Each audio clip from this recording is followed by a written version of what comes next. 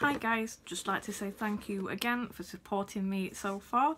So let's get into this month's Pretty Obsessed, Beauty Obsessed box of June.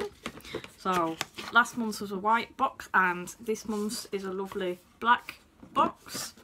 So we've got this.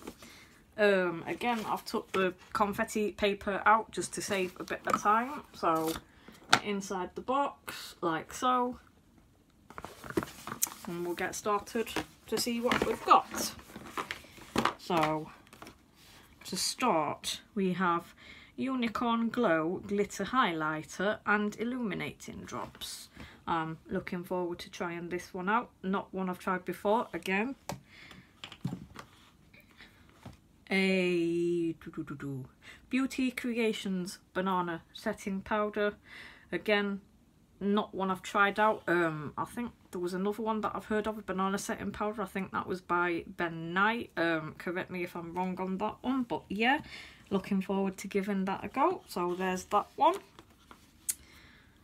Uh, this one is a loose pigment in the shade of Blush. And this is by Josh Cosmetics looking forward to trying this one. I do love pigments. I have tried them you know um they're great for multi-use um in particular ones that are my favorites are some of the mac ones.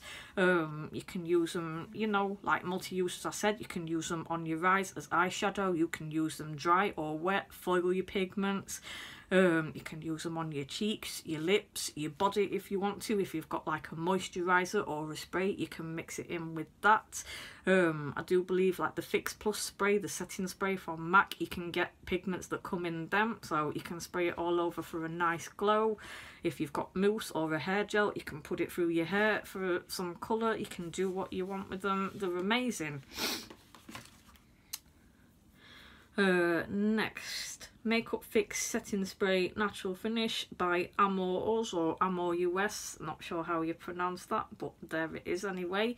Um, never tried that, but looking forward to again. So there's that.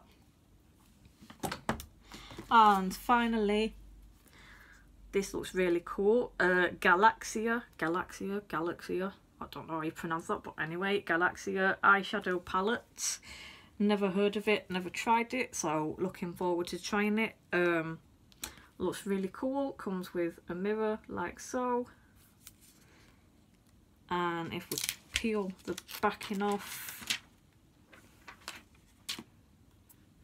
right can you see the shadows? Look how cool they are they are so nice so looking forward to trying those out. If you would like me to swatch them, if you would like to see them, then let me know in the comments below. And as always, don't forget to hit like and subscribe. Just follow me. Um, you can find me on Twitter and Instagram. You can follow me on there. So yeah, I'll give you the links to the good stuff and keep supporting me and subscribing, liking, following, commenting. Thank you guys. Love yous.